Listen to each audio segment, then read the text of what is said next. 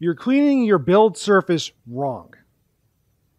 Okay, maybe not wrong, but I'm going to show you how to do it better. Now, I'm sure you guys know the basics of cleaning a build surface, but we're going to talk about something that often gets overlooked that can make the whole process significantly better. So let's do a quick recap of what it is we're cleaning from this build surface to begin with. When you touch the build surface with your hands, oils from your fingers get all over this surface. And that oil creates a film layer that you can't see that is a barrier between your first layer and the build surface itself. Those oils prevent the plastic from sticking to the build surface properly, and that's what ends up causing your first layers to not stick in the first place. Now, if you're like most people, you're probably using some isopropyl alcohol to clean the build surface, which is perfectly fine.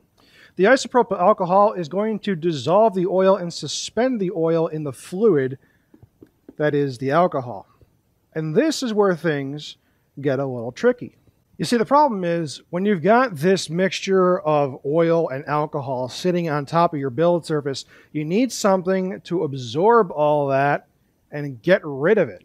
Now, the thing is, most people are probably using this just some basic paper towels. But here's the thing Have you ever tried to clean up some oil with paper towels before, whether you're in the kitchen or in the garage of your car? Come to realize that this stuff isn't exactly very good at absorbing oil. It will absorb oil to a point, but there's something that you can get that is just as cheap, but significantly better. And that's where this comes in. Shop towels.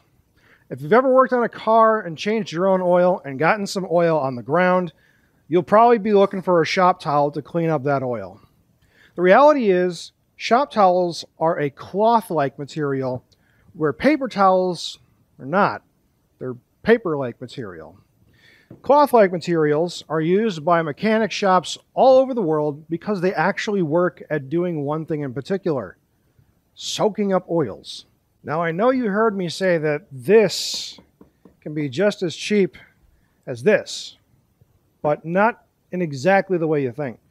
You see, when you use a paper towel to clean up some oil, you get a small piece, and each time you clean the surface, you got to throw this away. It's not really going to be good anymore. It's pretty much used up.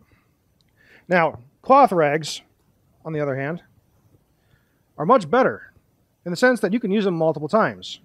What I do is I fold it into a square twice. It gives me four layers. And every time I want to clean the build surface, this is what I do. I take my isopropyl alcohol. We're going to just place this build surface up here so you can see it a little better. Pour some isopropyl alcohol on here. And yes, I do want a puddle because I want to create a solution to suspend the oil. I don't want I don't just want to like shove the oil around. I want to suspend it in the isopropyl alcohol so that it can be wicked up by this cloth-like rag. And what I do is I just wipe it down. It's pretty similar to what you're already doing, but the difference is because these are so thick, you don't only have just the one side. You've got this one side we've just used, Flip it over, you've got another side you can use. Invert it, you've got another side you can use, and then another side you can use. You essentially get four times as many uses out of one of these as you do one of these. Side note, these are lint free. So if you've ever used a lint based paper towel or a napkin to do exactly what we've just done, you probably know the frustration of having all those little lint fibers stuck on the build surface that again shouldn't be there and are probably going to affect your first layer. There's multiple benefits to these shop towels.